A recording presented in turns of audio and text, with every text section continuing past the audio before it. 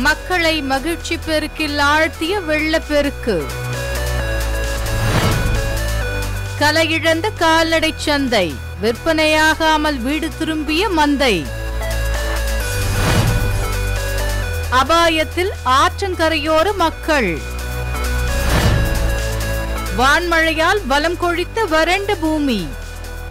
இன்று இரவு எட்டு மணி செய்திகளில் நமது புதுயுகத்தில் காணத் தவறாதீர்கள்.